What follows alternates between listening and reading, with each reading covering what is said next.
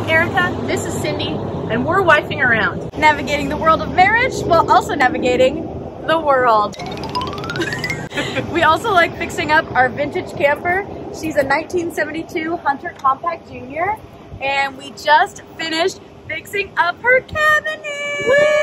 So in this video, we're gonna walk you through part two of that process. If you wanna see part one, we'll put a little card right here and and it's in the description as well. We had kind of tested out a couple of stains for our cabinets in the last video. We picked a color. It was way more complicated than we were expecting. This changes everything. This was not part of the plan. Things are never as they seem. Ever. So come on.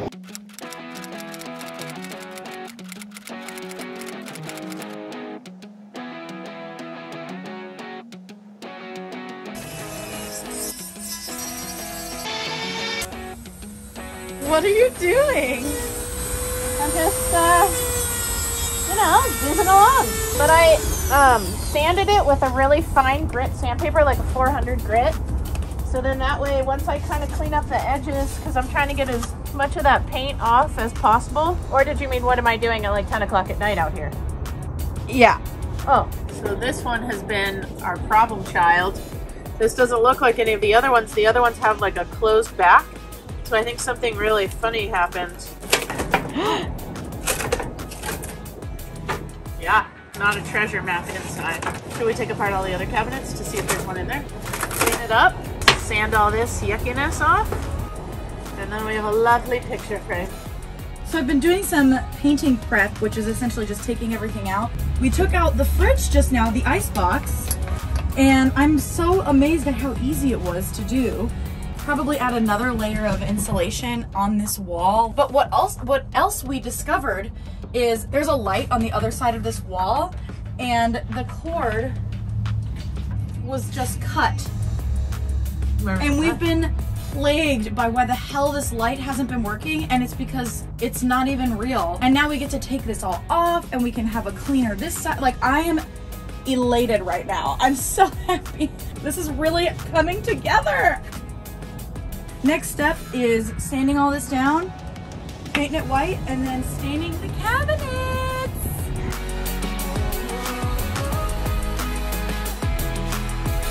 So while Erika is sanding the interior of Wendy, I am taking on the ice box. It is literally a cooler wrapped in styrofoam. Like this, it's so basic, but it is actually surprisingly effective. And while we pulled out the ice box, we noticed that there was some rust inside. This is where you put the ice and it's slanted so that it will fall down here, down through, there's a tube that usually goes right here and out of the camper. But there's a little bit of rust. So here's a little trick if you wanna remove some rust. You only need two things, lemon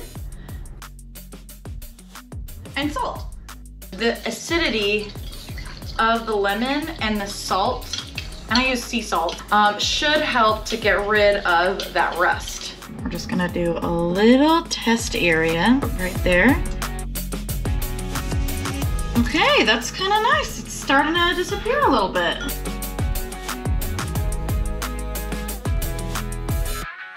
Have you been sanding? Oh, why? I don't know. Why would I done think a single that? thing all day. Why would I? Doesn't my hair? It's not even dandruff. What if this was stained wood? I thought it could be really cool, kind of looking out to have this be like a little accent piece. I love it. You do. You did such a good job. This is the wood filler, but it kind of almost looks like a mousse. A lovely chocolate mousse is what we have for the dessert.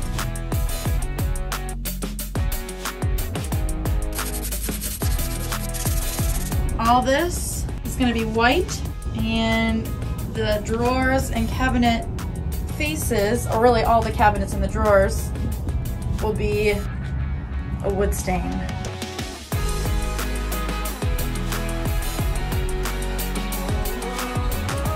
Ready? Wait! Oh no! Oh no!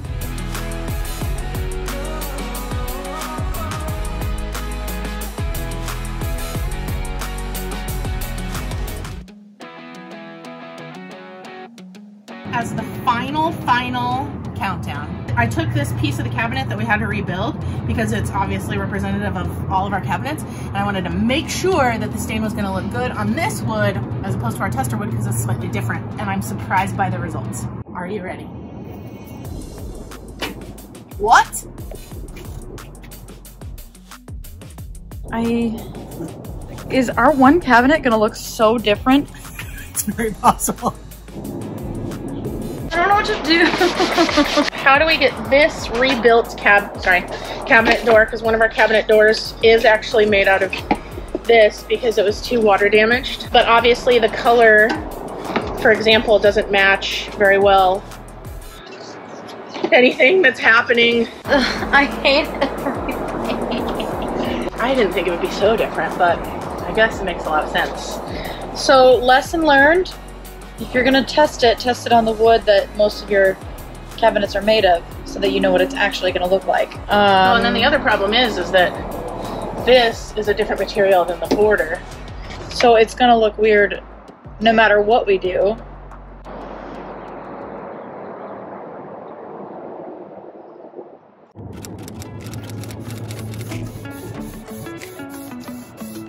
Okay.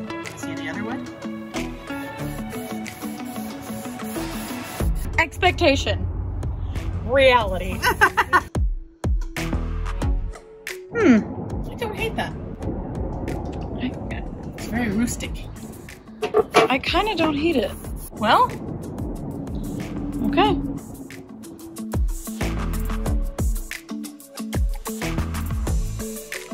I think it's gonna be okay. You know what? I've like really just let it go. I was pretty attached to that light color after we like deliberated, and then it's just not that. But literally, I'm looking at all the drawers and cabinets, and they are all different colors.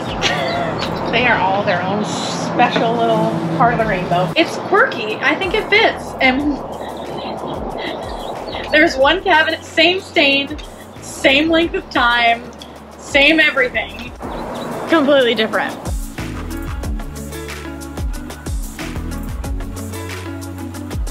What are you doing? What number code is this? Coat number three. A one, two, a three. So we're gonna polyurethane these cabinets uh, to help protect them and kind of lock everything in, especially because we've sanded them down and then stained them, so they're like really kind of open and a little bit vulnerable, I guess is sort of how I think about it. So we went with a semi-gloss. I think you can already tell it has like a, a bit of a shine. It goes on kind of milky and then it dries clear. So while Erika is polyurethaning and sealing all of the drawers and cabinets, it's time to take off the tape so that we can stain the little wood finishes around the camper. I'm excited.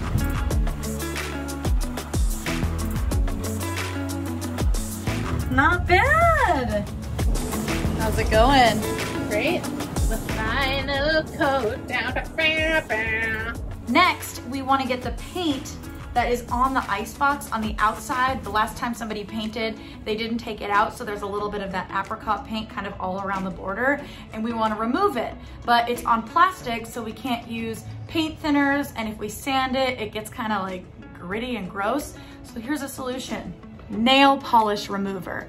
Make sure you get the kind with acetone. That's what you need to get this paint off. It's coming off. It's really slow, but it is coming off.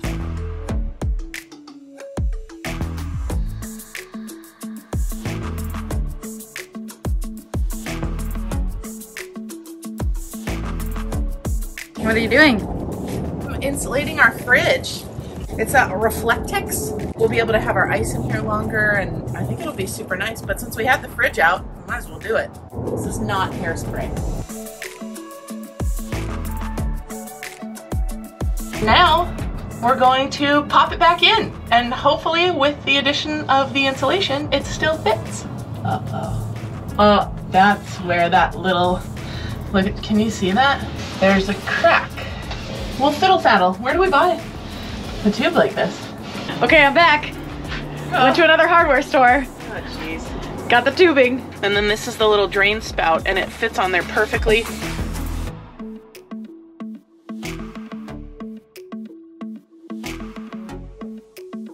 Okay, and then it's gonna go right out that hole, right? Once we figure out the perfect length.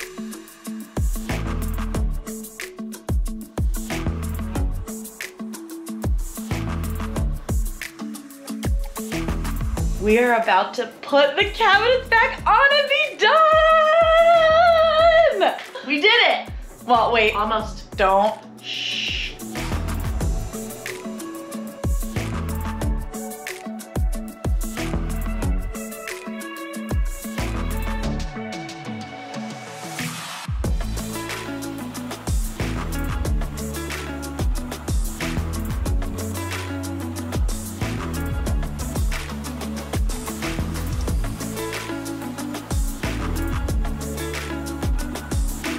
We hope you like this video and make sure to like and subscribe for more. Ring that bell.